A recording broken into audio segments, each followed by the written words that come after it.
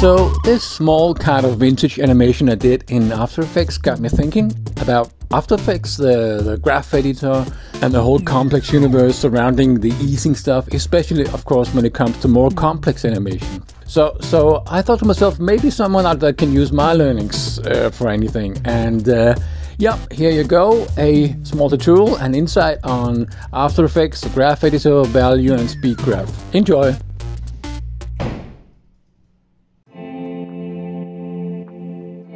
So I guess we have all seen these tutorials uh, with the value and speed graph where you have a ball move or sorry a sphere move from one uh, end to the other. Uh, just quickly demonstrate what I've seen a lot of times. The you push the shift uh, command, shift option P uh, buttons and move to a, a place in time and you move your spheres and you got your motion.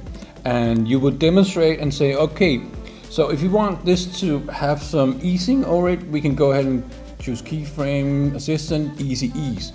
And there you go. And you would go you can go inside the uh, value graph and you can see the representation of the movement here. It goes slow in the beginning and fast in the middle. And you can see that represented in the speed graph like slow here fast slow again. And you would go in and say well if you want to make it really zoom we can drag those handles like this. And you can make the movement even more extreme like this. And I would think yeah okay I got that I get that. What about if we made something more like uh, advanced, like a sphere, and we would like to have that same movement.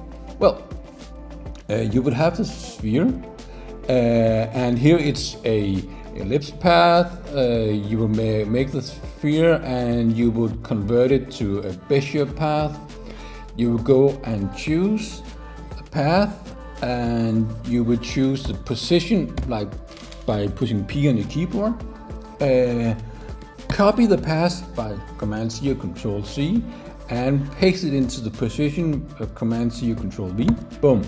And here you have here you have the circle uh, movement uh, in a linear way.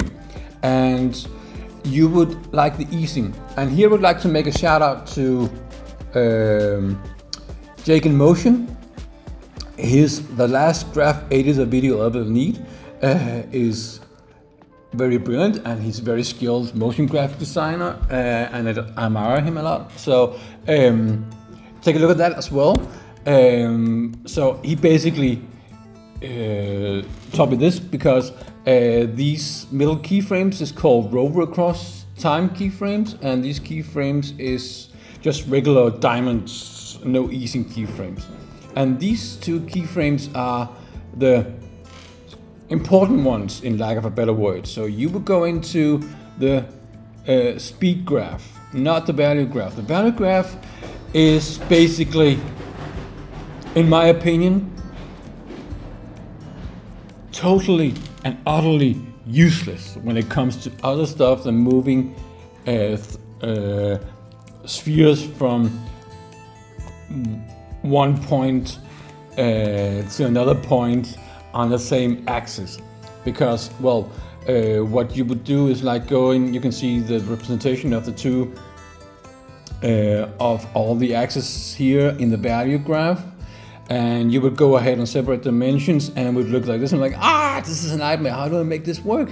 Uh, so here the yeah sorry I separate dimensions uh, uh, to the X and Y position uh, and you can click that off as well so uh, here the speed graph is your go-to path and you would choose the two uh, keyframes, main keyframes and choose easy ease.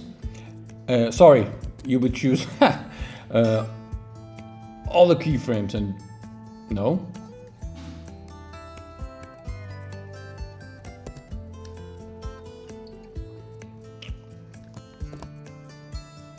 Oh, sorry. By that's a, uh, this is a quick uh, learning to myself. I didn't see that uh, I forgot when you do that, the separate dimension stuff, um, it will convert your keyframes to ordinary keyframes. So you need to put push back on the rove across time keyframes. And now you will have a speed graph, uh, and you can choose uh, easy ease, and you can drag. So now you will have like this more subtle movement from the sphere and again you can make it more extreme by uh, dragging those handles and you will have this one. So, so far so good. Thank you again uh, in Motion and again and also Ben Marriott and your tutorials and your way of doing stuff. I uh, big shout out, uh, shout out of kudos to both of you. Thank you. Um, I do miss, however, a this particular way of doing stuff because, well, yeah, so just a short introduction to who I am. My name is Rene Brokop. I've been working with motion graphics for, yeah, in this manner, embarrassing long, like 18 or 20 years. Um, and um, it's been like in the 3D uh, motions, 2D animations, project mapping on cars, buildings, uh, and recently I've been curious about the AI stuff. I've always been like um, confused about this um,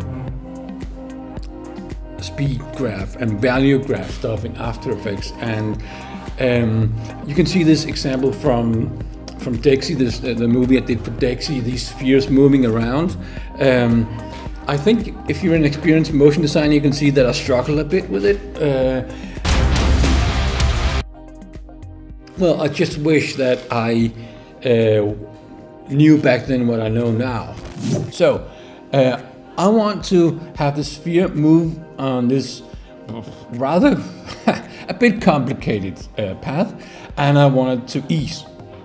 We go ahead to the path, we copy the path, and we, we paste it into the position of the sphere, and now it moves in a linear way. So, how do we ease this? Uh, the answer is you don't. or at least not in the beginning. Because, again, shout out to Dragon Motion.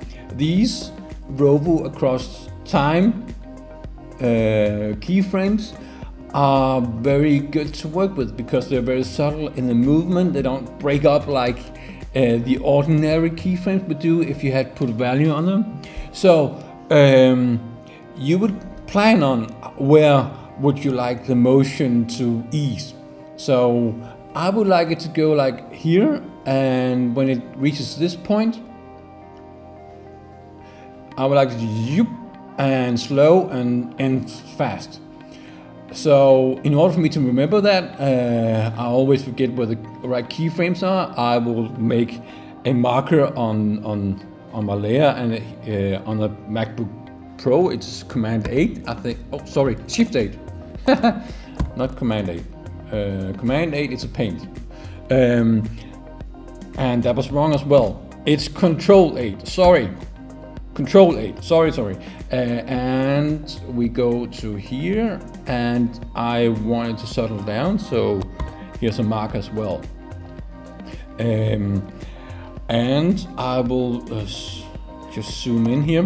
By the way, um, I'm zooming in uh, with shortcuts and I make the keyboard shortcuts my own uh, in the keyboard shortcuts menu and I've uh, made it by finding zoom and putting in what I want it to be and for me it's a set and, and this arrow button. Uh, so zoom in and zoom out on the timeline panel. It's a huge time saver to, to have this instead of going down here every time and clicking around. So, just you know.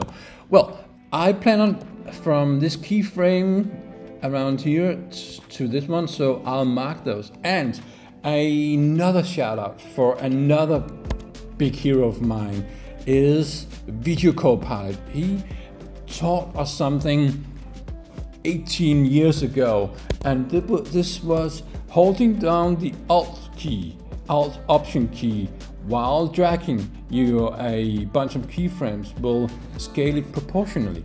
So hold down the Alt key and I will drag those together like this. Uh, and you can see now it moves a bit more like I want it. And here we want it to be a bit more slow, so we'll drag uh, that out. And in the end, faster. So let's see, zoom, zoom, a bit faster, right?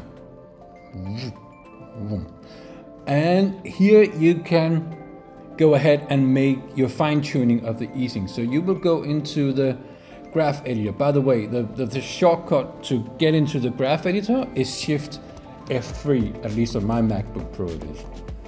I know what it is on Windows. Um, so uh, you go here and you have the last two uh, keyframes and you want this movement, this shift in time maybe to be more subtle. And you can do that by right clicking here and go ahead to uh, easy ease. Now, a problem. Uh, there are still two keyframes here, or it appears to be. Uh, so again, a shout out, and I want to make a shout out to Motion Design School. After Effects tips and tricks, they have these very short tutorials on some actually quite advanced stuff. Uh, it it's a huge help to figure out uh, uh, some annoying stuff uh, that you simply can't figure out yourself. Uh, you can see a thousand tutorials and you're not, just not getting anywhere. After Effects, tips and tricks, motion design school, very good. Uh, so they show this little trick that if you double click this keyframe, you will have the option of going continuous. So it will uh, melt those two keyframes together and you can pull the handle here and you can make the transition from keyframe to keyframes uh, speed uh, more smooth. So it will be like whoop, like that. So that was basically it for uh, advanced uh, animation speed graph. There's of course a lot of other options and I might do some more tutorials on different ways of doing it, but for now, I will let this be. Now, you see, just you can just end the uh, tutorial here if you want, um, but um, I will just show you maybe two things more, uh, and that is that is how I make the tail. If you see like this motion, you can see that it has this sphere has tails, and um, you can do it in different kind of ways. Uh, again, a shout out to Motion Design School. They have this smear trails stuff where they make this one. Uh, you can do that. I didn't do that. I, I, I choose the easy way to do it. well, this is very easy. It's, it's a tutorial in two minutes and 52 seconds, so it's it's very it's actually very fast. But um, I will recommend this uh, this plugin if you don't have it you need it. All motion graphics designers I know uh, and respect have this plugin, Motion 4 from MT MoGraph. Uh, it just has a load of stuff you can do and well it's not free i think it's around 70 dollars for it but it's very cheap compared to what you get very very cheap um, but I actually bought it back then because of one thing, uh, and that was there was this warp stuff, and I have never had any use for it until now. So I can just push this warp button, and here you go, and you have your trail. if you uh, thought yourself, well, that was a uh, that was an abrupt ending, um, don't worry, it was. Uh, I. Um, it, it's uh, if you there was actually 15 minutes more 15 minutes more uh, but um, if you think I sound confused in the first 15 minutes um, you don't want to hear the rest uh, so I decided to stop it here and make some more tutorials uh, so if you're curious about more uh, hit the subscribe button um, and comment and if there's something I forget or don't say or you uh, think I'm doing wrong, also comment. Uh, you're more than welcome. And uh, yeah, see you. Have a nice day.